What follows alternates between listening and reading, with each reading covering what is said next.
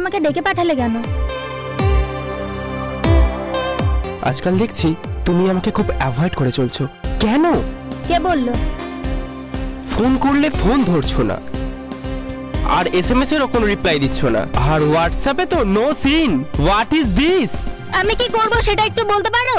বাবা সবেমাত্র রিটায়ার্ড হয়েছে। বাড়িতে আত্মীয় স্বজন ভর্তি।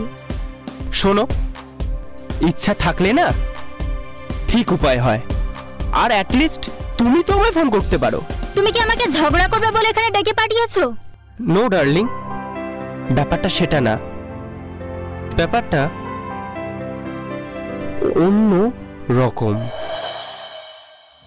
অন্য ব্যাপারে সময় নষ্ট না করে একটা চাকরির খোঁজ করো। বাবা তো যে কোনো দিন আমার অন্য জায়গায় বিয়ে দিয়ে দেবে। তুমি একটু বোঝার চেষ্টা করো প্লিজ চেষ্টা তো করছি ডার্লিং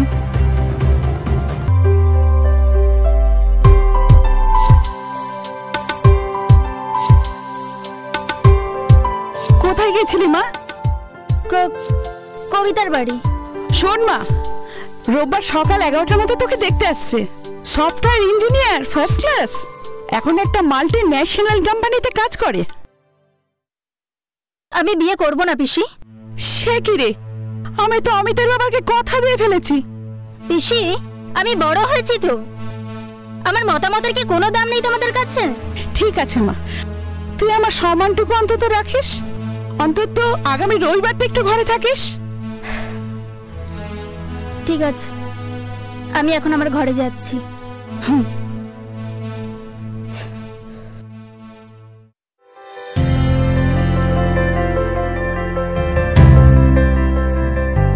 বিয়ে করবে না বলছে। ও কি কারোর সঙ্গে এনগেজড হয়ে গেল? তাহলে তো আমি খুব সমস্যায় পড়ে গেলাম।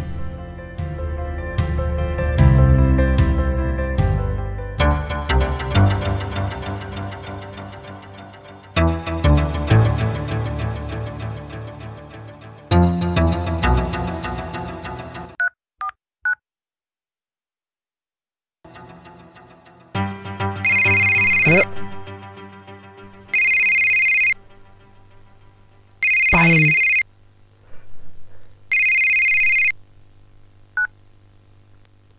হ্যালো হ্যালো শোনো না। হ্যাঁ পায়েল বলো। বলছি জেঠু না আমার বিয়ে ঠিক করে ফেলেছে। মানে? আগামী রোববার ছেলে আর ছেলে দিদি আসছে আমাদের বাড়িতে বিয়ের ডেট ফাইনাল করতে। তোমার বাবা আমার ছোটবেলার বন্ধু ছিল। আমি সব শুনেছি জেঠু। আমার সৌভাগ্য যে আমিও আপনাকে বাবার মতোই পাবো। হুম হুম হুম। বাবা মা সবসময় আপনার কথাই বলেন। বিয়ের দিনটা ঠিক হলে বাবা মা সবাই আসবেন। পায়েল! পায়েল! পায়েল মা আয় রে ওই তো আসছে। আয় মা।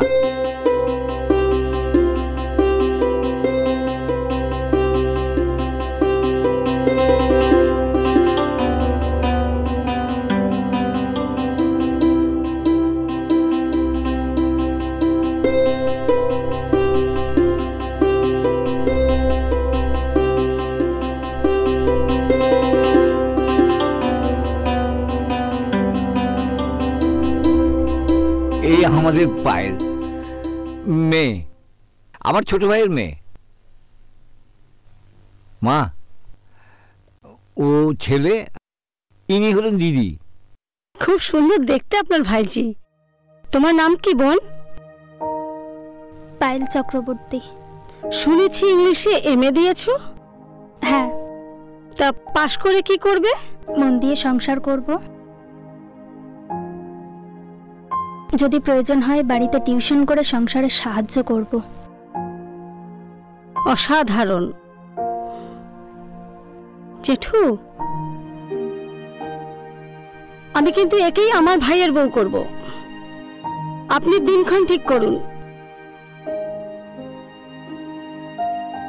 এই রে আমি এখন কি করব? এটা তো আমাকে পছন্দও করে ফেলেছে। সর্বনাশ। তুমি এখন তোমার ঘরে যাও বোন। আসছি। নমস্কার। আসছি।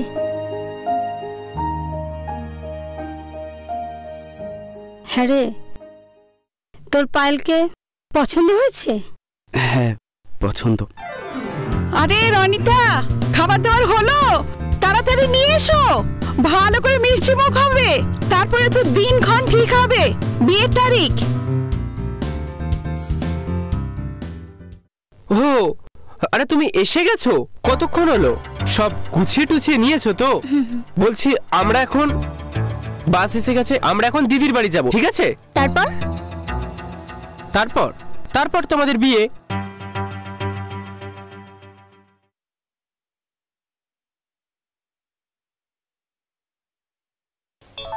এবার থেকে তো তোমার আমার আর আমাদের কোনো চিন্তা নেই। আর তারপর? তারপর রাম। তারপর শ্যাম। আর তারপর ডট। ডট। নামগুলো আমি পরে দিয়ে দেব। তুমি না খুব দুষ্টু। ধর বাবা, আমাকে আবার এখন কি ফোন করল। হ্যালো আপনার উড বি হাজব্যান্ড। ও আপনি? ভালোই হয়েছে আপনি ফোন করেছেন। কালকে বলতে পারিনি তাই আজকে বলছি।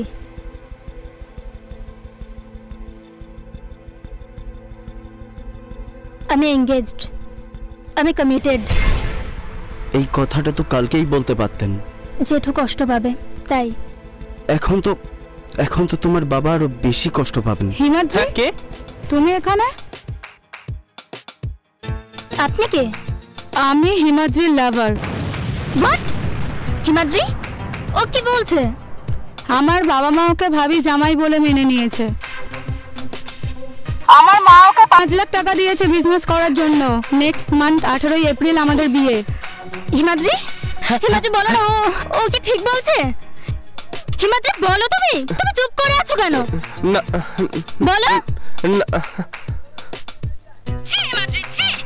আমি আসছি। তোমার মতো ঠকবাজ আমি আর একটাও দেখিনি। শোনো। মেয়েটা তাহলে কোনো বাজে ট্রাপে পড়ে গেছিল?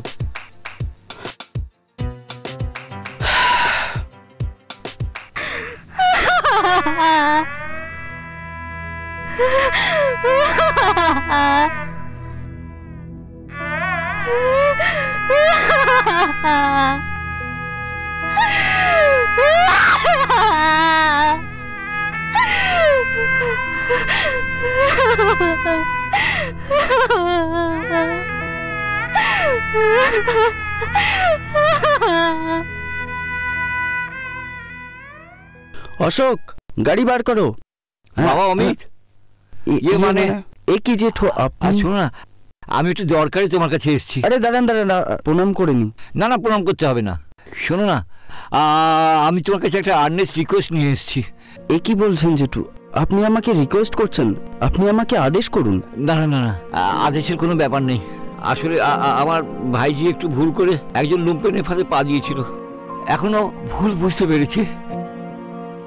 এসব আপনি কি বলছেন? না না ওকে তুমি ক্ষমা করে দাও বাবা। তুমি ওকে ক্ষমা করে দাও বাবা। ক্ষমার কি আছে জেঠু? না না তুমি ওকে ক্ষমা না করলে আমার ভাইজি ওর নিজের বিবেকের কাছে কি কৈফিয়ত দেবে বলতে পারো? জেঠু আমি সত্যিই বুঝতে পারছি না। আমি কিছুই বুঝতে পারলাম না।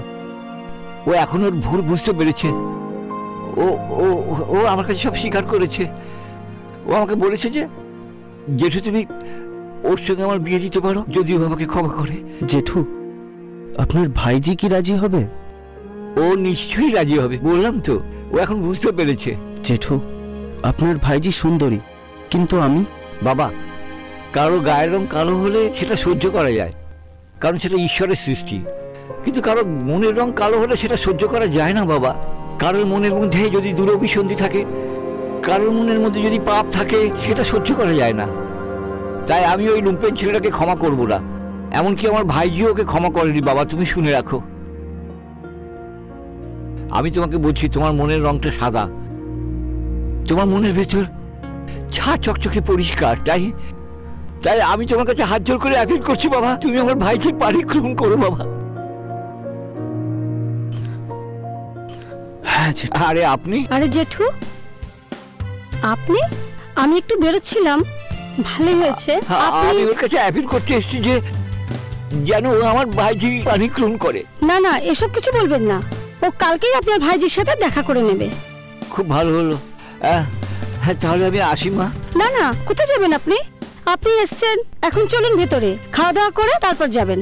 আমি এখন আর বেরোচ্ছি না। ও বেরোচ্ছে তুমি বেরোচ্ছো। আমি তোমাদের কাজে আমি আর বেরোচ্ছি না আমি ক্যান্সেল করছি। চলুন। হ্যাঁ চলো।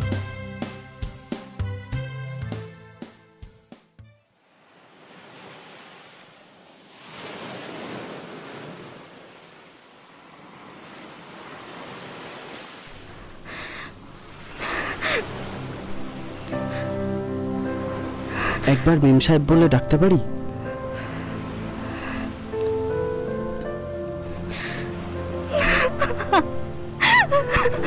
কাঁদবেন না মেম সাহেব। তাহলে? তাহলে আর কি? আমার সৌভাগ্য এই যে আমি মেম সাহেবকে নিজের জীবন সঙ্গিনী করতে পারব। আরে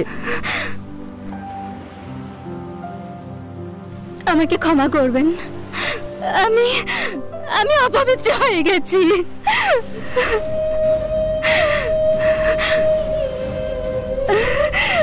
আমি নষ্ট হয়ে গেছি। গঙ্গা কখনো অপবিত্র হয় না। গঙ্গা কখনো নষ্ট হয়ে যায় না মেম সাহেব। কখনো নষ্ট হয়ে যায় না। চলো।